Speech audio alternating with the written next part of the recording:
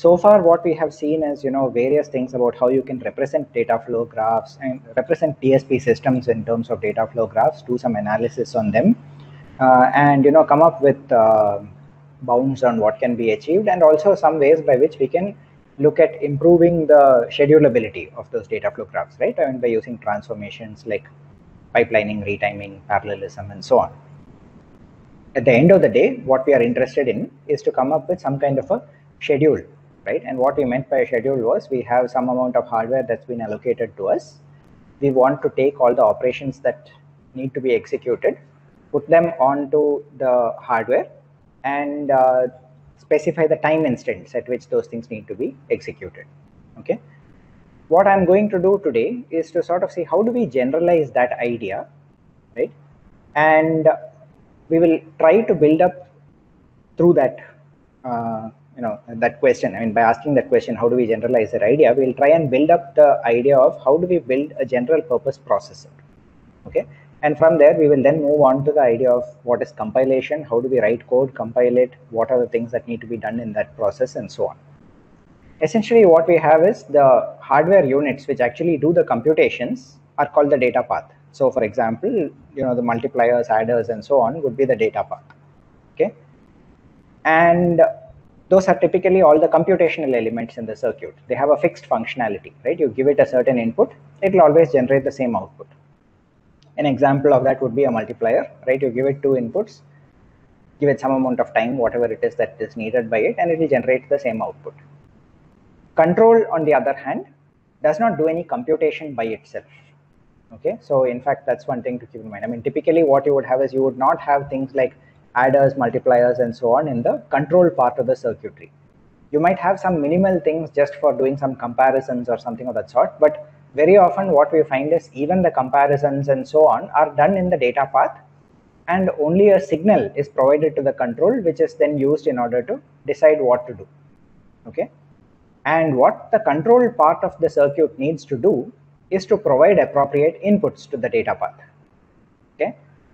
In particular, it needs to keep track of the time, that is how many clock cycles have passed, and to schedule operations. In other words, find out at which time instant uh, are we currently, can we move, uh, you know, do this particular operation, can we move on to the next step, and so on. Okay. I'll be sort of taking a much more detailed example and hopefully it will become clear in the process. Okay. And the example that we are going to study is one that hopefully you're all somewhat familiar with by now. It's the differential equation solver okay? So you know you remember this task graph right? Basically what we have over here is uh, six multiplication operations. And if you look at the top you'll notice that i have actually labeled all the inputs to each of the multipliers and uh, adders right?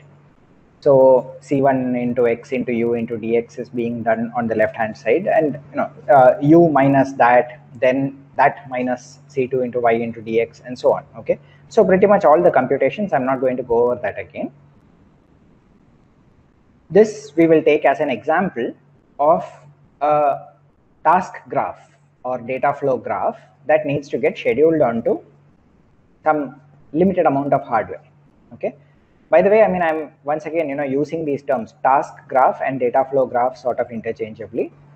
At the end of the day, what you need to keep in mind is data flow graph by itself refers to the idea that each of the elements inside the graph behaves in a data flow manner right? It receives some input, it performs computation and generates output. And all of the data is basically connected between such nodes by means of edges and it's just it is that transfer of data through the graph that is responsible for doing the computation that we have. The term task graph comes from a different context. It is sort of more from the operations research and scheduling point of view.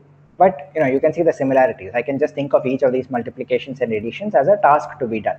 Okay, so most of the time, I, and sometimes I will use these terms interchangeably, right? Most of the time, it is clear from the context whether there is anything specific that I need to keep in mind. Uh, if there is, then you know I'll usually elaborate on that a little bit. Otherwise, just these are common terms. All right, so this is the same task graph that we had earlier, right? And we have been through how we can schedule this in different ways, ASAP, ALAP, uh, finite resources, uh, list-based scheduling, all of those we looked at. I am now marking the in inputs to the system and giving them some new names, right? So I'm basically calling C1 as I0, X as I1, U as I2, and so on. And effectively what I can see in this way is that I have six inputs, uh, sorry, seven inputs to the system, right? C1, X, U, DX, C2, Y, and A, okay? These are seven distinct inputs that are taken by this entire unit in order to perform one computation. Now, as you know, the x, u, and y are in turn once again updated by this computation and will then be fed back as the next for the next iteration, right? The C1, dx, and C2 are constants and A are constants, which you could also just have hard coded in. But for completeness, I am taking them as something which is provided from outside. So it's another input to the entire system. Okay. So if we have this, then basically what we can do is, you know, once again, I can label the rest of them. The reason I put it in parentheses is because these are duplicates, right? They already have a name. I didn't want to sort of mess up the diagram by connecting them all over the place. So I've just, you know, put the corresponding name above the variable. Now I'm introducing a few new names. Okay, so you can see that I have something called R0, right, which is the output of the first multiplier, right? and r0 basically correspond and you know it's just a name that i'm using for a temporary variable okay i'm basically saying that the product of i0 into i1 that is c1 into x is stored into some placeholder right most likely it might be a register right or it might also just be a wire which basically holds the value of the multiplication output right? And similarly we have r1 which is the output of u into dx okay? Now further when i look at the next multiplication after that i need to do r0 into r1 here i'm taking a bit of a shortcut right? I'm saying that okay i will just reuse the value r0 over here right? Technically this is not entirely correct. Ideally what i should be doing is introducing a new variable name over here or you know just call it a net name right? It does not really matter. Even if i called it i mean uh, in this particular case the fact that i can use r0 it is probably hopefully intuitively obvious to all of you why you know it does not matter because anyway I have just used R0 I am not going to have that old value. I'm, I don't need that old value again anywhere else which is why I am reusing R0 at the output of the multiplier as well right but to keep things safe I could have called it R2 or R3 or R4 some other name right in fact what we will find when we sort of I mean, or rather, I'm not going to get into too much detail on the compiler part of it, but there is something called static single assignment form, where the idea is that any given value or variable or such name that you introduce will get assigned a value only once, right? That is, it's got a single assignment. So once I assign a value to R0, let's say I assign I0 into I1 to R0, I can never assign a new value to R0. Okay, now, that form of writing code or writing variable names actually has some very interesting properties because it allows us to analyze some parts of the graph very neatly and to actually you know uh, avoid uh, or rather reduce some kinds of dependency analysis and make them very easy to do. Right now I'm sort of taking the slightly more intuitive approach, one that we would readily understand, where I'm basically saying that, you know, this corresponds to something like uh, this statement is basically saying R0 is equal to R0 into R1, right? And we understand what that means. What I'm saying is the old value of R0 is multiplied by the old value of R1 and is assigned as the new value of R0, okay? And so on. So I have R0, R1, R2, R3, and R4. Okay, so these are just some you can call them registers you can call them placeholders you can call them variables whatever you want okay for the time being so now that i've done all of this what can i sort of do further with this graph i am just for completeness you know i'm also assigning names to these uh, operations m1 m2 m3 etc right so there are six multiplications and five addition slash subtraction slash comparison operations right i'm clubbing them all together as a single type of operation. They're either addition or subtraction or comparison. They can be done on the same piece of hardware essentially. moving ahead with this, we have given all these names, right? M1 to M6 and uh, A1 to A5. Now, what do we do with this? Okay. So, I've just sort of shrunk that image a little bit onto the left hand side, right? Uh, and uh, what we have with the image on the left hand side is it's exactly a copy of what we had on the previous screen, right? What I'm trying to do now is to say, supposing I have only one multiplication or rather one multiplier and one adder, right? So my hardware essentially corresponds to two units, right? There's one multiplier and one adder, okay? And the right hand side of the slide essentially is trying to sort of put down details of at each instant of time what should be provided as inputs to the multiplier what should be provided as inputs to the adder and where does the output of the multiplier go where does the output of the adder go. Okay that's what i want to sort of tabulate over there.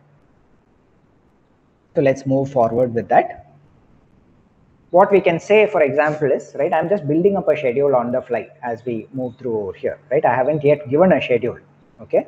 But i'm sort of building it up by saying some kind of you know list based you know i just take whatever is the ready node at any given point and just put that onto the uh, operations. So at time zero one thing that i can do is i can schedule m1 okay? So operation m1 is scheduled on the hardware m and operation a4 is scheduled on hardware a what are the inputs to m1 it is i0 and i1 right? Basically c1 and x. Okay so i0 and i1 those two inputs are fed in as in1 and in2 of the multiplier m. And the output is r0 okay? All right next time instant. At time 1 i can do for example m2 right? I could also have done m4 or m6 but i'm just picking m2 uh, what are the inputs to m2 i2 and i3 its output is r1 okay what are the uh, and on the adder I correspondingly do A5. Okay. What are the inputs to A5? One of the inputs is R4, which I just computed in the previous cycle. And the other input is I6, which is A. Okay. And the output once again is R4 itself because of you know the fact that I'm reusing variable names. Move forward to the next time step. Now what I have is M3 can get scheduled on the multiplier okay? What are the inputs to m3 it's r0 and r1 and output is r0 and at that time instant i find that i don't have any operations that i can schedule on the adder. So i'm just leaving it blank okay? Move forward to time step 3 i can schedule m4 on the multiplier its inputs are i4 and i5 output is r2 and now because i've already finished m3 i can schedule a1 onto the adder right the inputs are I2 and R0 and output is R0. Okay. Move forward at time step 4, I have the multiplier M5. At time step 5, I have multiplier M6 as well as add operation A2. Okay, because remember M5 has completed, therefore A2 is now ready to go, right? And A2 takes as input R0, which is coming from A1, and R2, which is coming from M5 does the subtraction in this case and stores the result in R0. Okay, so you'll notice that as far as the A hardware is concerned, I am actually not specifying whether it's an add or a subtract or a compare, right? I need to actually have an additional column out there which also specifies that. Okay, so moving forward, what I have is at the last time step, that is time six, the only operation remaining is A3. Okay, one input is I5, the other input is R3 and the output is R3 itself.